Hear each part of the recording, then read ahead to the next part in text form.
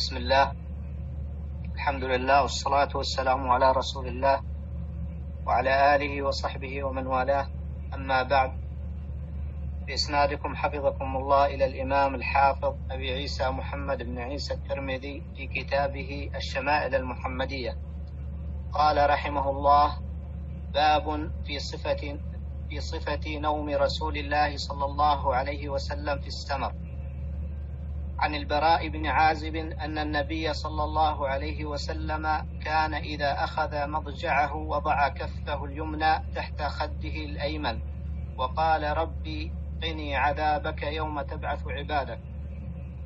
وعن أبي عبيدة عن عبد الله مثله وقال يوم تجمع عبادك. وعن حذيفة قال كان النبي صلى الله عليه وسلم إذا أوى إلى فراشه قال اللهم باسمك أموت وأحيا وإذا استيقظ قال الحمد لله الذي أحيانا بعدما أماتنا وإليه النشور. وعن عائشة قالت كان رسول الله صلى الله عليه وسلم إذا أوى إلى فراشه كل ليلة جمع كفيه فنفث فيهما.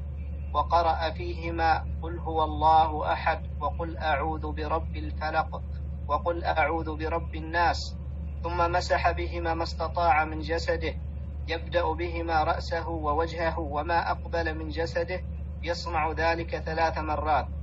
وعن ابن عباس أن رسول الله صلى الله عليه وسلم نام حتى نفخ وكان إذا نام نفخ فأتاه بلال فآذنه بالصلاة فقام وصلى ولم يتوضأ وفي الحديث قصة. وعن أنس بن مالك أن رسول الله صلى الله عليه وسلم كان إذا أوى إلى فراشه قال الحمد لله الذي أطعمنا وسقانا وكفانا وآوانا فكم ممن لا كافي له ولا مؤوي. وعن أبي قتادة أن النبي صلى الله عليه وسلم كان إذا عرس بليل اضطجع على شقه الأيمن. وإذا عرس قبيل الصبح نصب ذراعه ووضع رأسه على كفه. باب باب ما جاء في عبادة النبي صلى الله عليه وسلم. عن المغيرة بن شعبة قال صلى الله قال صلى رسول الله صلى الله عليه وسلم حتى انتفخت قدماه. عن المغيرة أحسن الله إليكم. عن المغيرة بن شعبة قال صلى رسول الله صلى الله عليه وسلم حتى انتفخت قدماه فقيل له أتتكلف هذا وقد غفر الله لك ما تقدم من ذنبك وما تأخر؟ قال أفلا أكون عبدا شكورا. وعن أبي سلمة عن أبي هريرة قال كان رسول الله صلى الله عليه وسلم يصلي حتى ترم قدماه. قال فقيل حتى تورم. هنا حتى ترم قدماه أنا ماني سامع. نعم شيخنا. من ال... أيوة. صلى رسول الله. قال آه، كان رسول الله صلى الله عليه وسلم يصلي حتى ترم قدماه قال فقيل له أتفعل هذا وقد طيب. وقد جاءك أن الله تعالى قد غفر لك ما تقدم من ذنبك وما تأخر. قال أفلا أكون عبدا شكورا؟ وعن أبي هريرة قال كان رسول الله صلى الله عليه وسلم يقوم يصلي حتى تنتفخ قدماه فيقال له يا رسول الله تفعل هذا وقد غفر الله لك ما تقدم من ذنبك وما تأخر. قال أفلا أكون عبدا شكورا؟ وعن الأسود بن يزيد قال سألت عائشة عن صلاة رسول الله صلى الله عليه وسلم بالليل فقالت كان ينام أول الليل ثم يقوم فإذا كان من السحر أوتر ثم أتى فراشه فإذا كان له حاجة ألم بأهله فإذا سمع الأذان وتب فإن كان جنبا أفاض عليه من الماء وإلا توضأ وخرج إلى الصلاة. وعن ابن عباس أنه عن كريب عن ابن عباس أنه أخبره أنه بات عند ميمونة وهي خالته. قال فاضطجعت في في عرض الوسادة. واضطجع رسول رسول الله صلى الله عليه وسلم في طولها. فنام رسول الله صلى الله عليه وسلم حتى إذا انتصف الليل أو قبله بقليل أو بعده بقليل. فاستيقظ رسول الله صلى الله عليه وسلم فجعل يمسح النوم عن وجهه ثم قرأ العشر الآيات الخواتيم من سورة آل عمران ثم قام إلى شن معلق فتوضأ منها فأحسن الوضوء ثم قام يصلي. قال عبد الله بن عباس. نعم أحسن الله الشن الشن هي القربة. أحسن الله عليك الشن القربة. نعم. ثم قام إلى شن معلق فتوضأ منها فأحسن الوضوء ثم قام يصلي.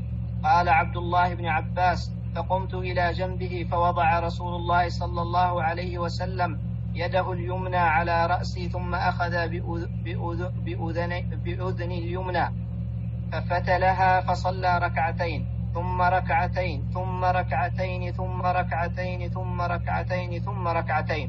قال معن ست مرات ثم أوتر ثم اضطجع حتى جاءه المؤذن. فقام فصلى ركعتين. خفيفتين نعم أحسن الله الصوت واضح؟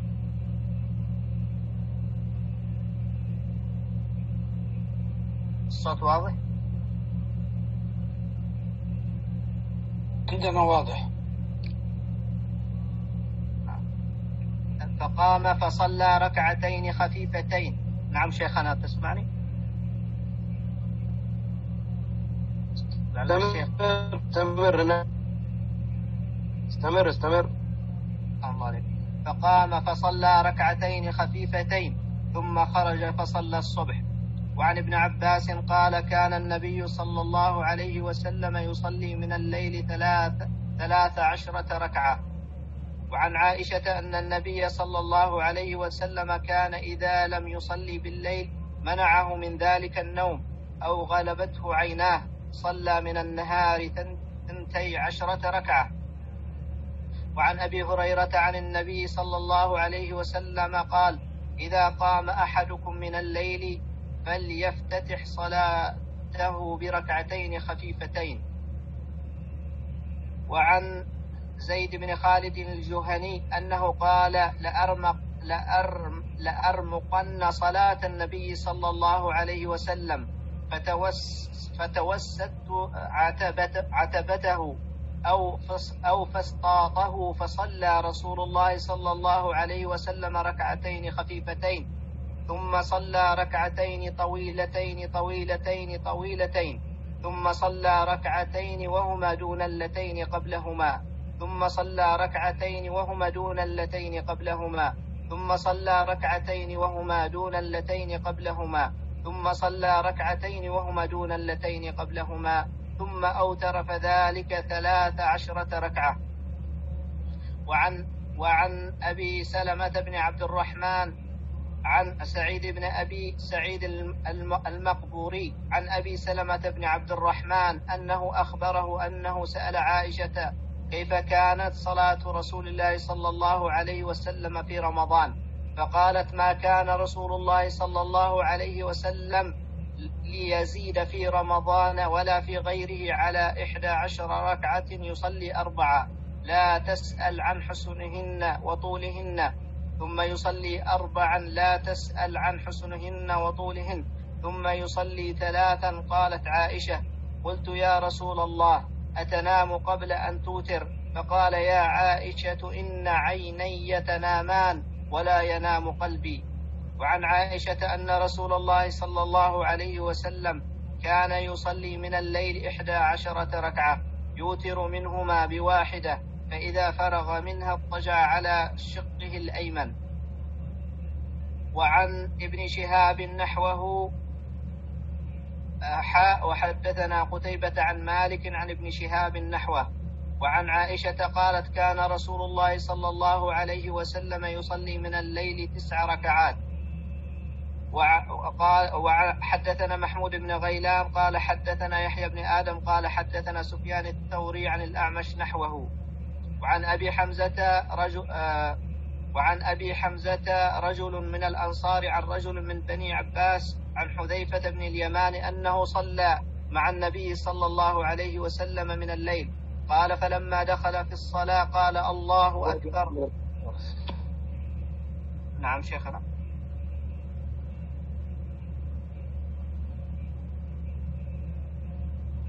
الصوت واضح؟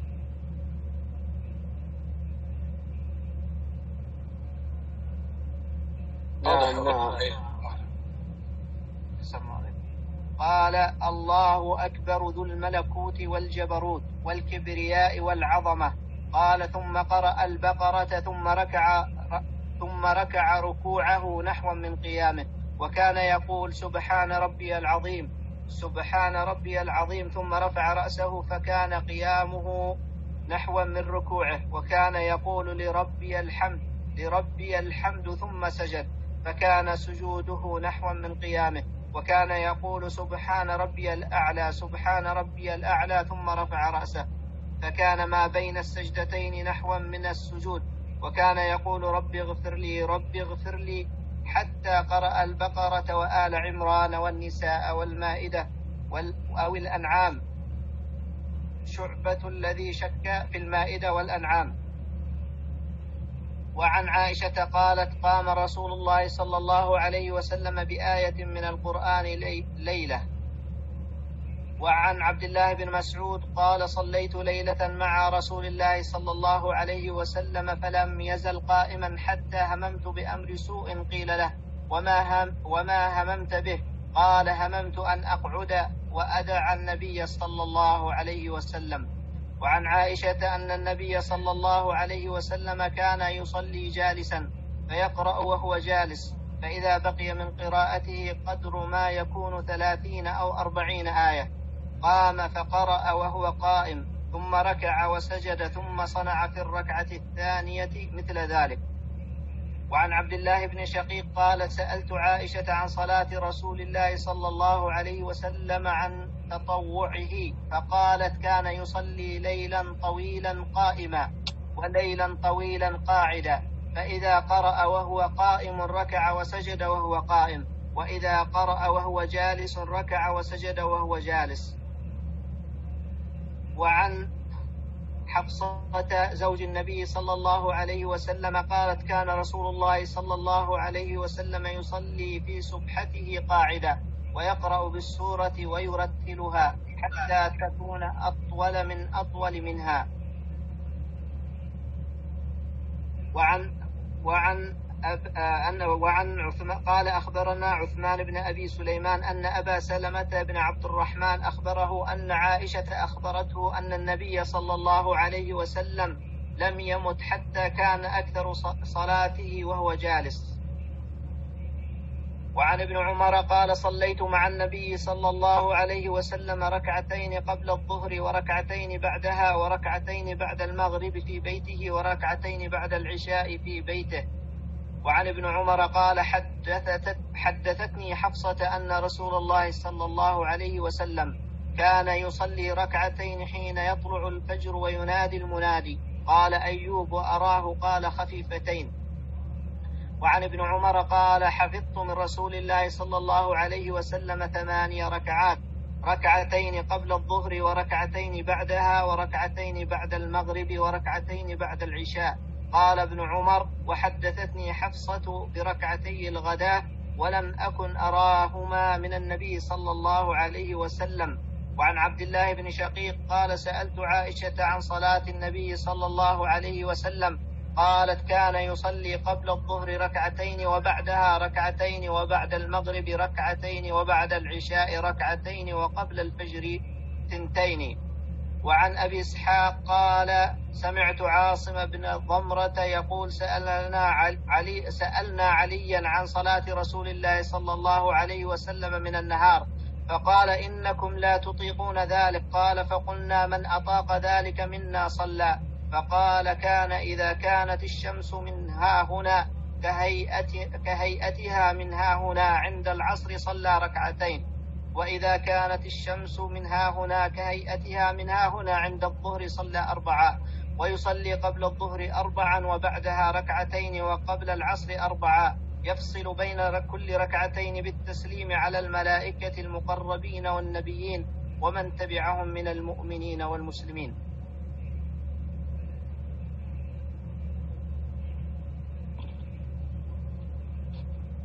وصلى الله على محمد وصحبه وسلم. وآخر دعوانا الحمد لله رب العالمين.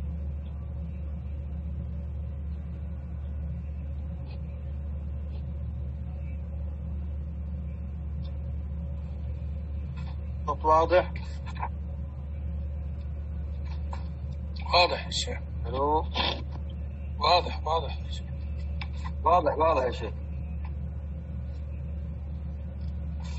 هذا قراءة في الشمائل باب ما جاء في نوم رسول الله عليه الصلاة والسلام. مما يستفاد من هذا أيها الكرام الفضلاء وهو سنة أن ينام الإنسان على طهارة وأن ينفض مكان نومه وأن ينام على شقه وأن ينام على شقه الأيمن وأن يضع كفه اليمنى تحت خده الأيمن وأن يقول رب قني عذابك يوم تب- يوم تبعث يوم تبعث عبادك وهذا الدعاء يقال عند النوم ويقال بعد الصلاة. يا إخوان هذا من السنن المنسي التي يهجرها الكثير. رب قني عذابك يوم تبعث عبادك. من الأذكار التي تقال أدبار الصلوات وتقال عند أخذ الرجل أتي ذكر رب قني عذابك يوم تبعث عبادك. يقولها عند النوم ويقولها أيضا أدبار في رواية رب قني عذابك يوم تجمع عبادك. أيضا من الأدعية عند النوم باسمك اللهم أموت وأحيا. وإذا استيقظ يمسح وجهه بيده اليمنى. ويقول الحمد لله الذي أحيانا بعدما أماتنا وإليه وإليه النشور. وأيضا من الأذكار إذا أتاك وأن تنفث فيهما. هكذا. الله واحد. ثم الفلق. ثم الناس. ثم تمسح جسدك بها. تكرر ذلك ثلاثا. تكرر ذلك ثلاثا. وأيضا من الأذكار التي من قالها عند النوم فقد حمد الله بجميع حامده الله الذي كفاني وآواني. الحمد لله الذي أطعمني. الحمد لله الذي من علي فأفضل. هذا من دعا به فقد, فقد دعا الله بجميع محامد خلقه. يعني كم مليار عدد سكان العالم؟ تقول هذا الدعاء كأنك حمدت الله بعدد محامد كلهم. وأيضا هناك فائدة. إذا أراد أن ينام ويعرس يعني ينام ويستريح يضع كف تحت خده. وأن لا يستغرق فيها ينصب ذراعه. ويضع رأسه عليه هكذا كان فعل النبي عليه الصلاة والسلام. سنة النبي عليه الصلاة والسلام منها هي في 11 ركعة أو 13 ركعة يبدأ بركعتين خفيفتين ثم يطول عليه الصلاة والسلام. الصلاة والسلام بأبي وأمي يقرأ في الركعة الواحدة بخمسة أجزاء. وأيضا يحافظ الإنسان في يوم على أربعين ركعة سبعة عشرة ركعة ثنت عشرة ركعة رواتب أحد ركعة قيام الليل أو ثلاثة عشرة ركعة.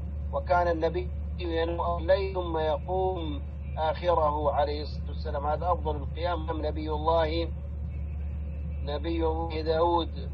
وكان عليه الصلاة والتسليم بأبي نام عن ورده بالله فضاد وزاد ركعة صلى الله عليه وآله وصحبه وسلم. وكان يقول في ركوعه سبحانك اللهم بحمدك اللهم اغفر لي. وكان يقول في بين السجدتين رب اغفر لي رب اغفر لي وفي رواية رب اغفر لي وارحمني وعافني واجبرني في السجود سبحان ربي الأعلى وفي الركوع سبحان ربي العظيم. صلى الله عليه وسلم. وكان يقوم الليل حتى قدمه الشريفتان عليه أفضل الصلاة وأتم التسليم. ها والله أعلم. وصلى الله على نبينا محمد وآله وصحبه وسلم. آخر دعوانا رب العالمين. الله الله. السلام عليكم ورحمة الله. السلام ورحمة الله. يلا أبو أنس. شيخنا بس الله يكرمكم في سؤال في الحديث رقم 264 أيوه. إيه، قال كان ينام أول الليل ثم يقوم فإن كان من السحر أو أوتر ثم أتى فراشه فإن كان له حاجة ألم بأهله. فإذا سمع الأذان وثب إذا كان جنبا أفاض عليه من الماء وإلا توضأ وخرج إلى الصلاة. أيوه ما هذا هذا معناه الوضوء؟ ألم بأهله يعني.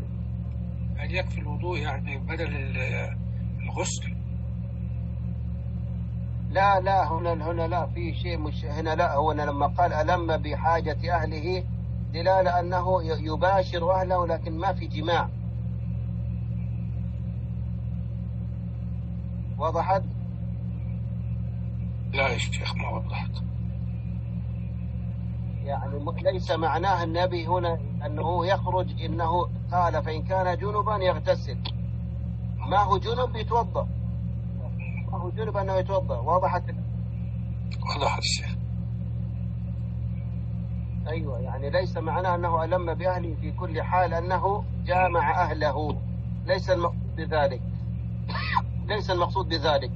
يعني مرات يلم بأهله فقط مجرد نوم بدون جماع. فإن ألم بأهله وكان فيه ولذلك نقول كل إلمام كل جماع إلمام بأهله وليس كل إلمام إلمام بأهله جماع. إذا حصل ألم بأهله وكان في جماع اغتسل.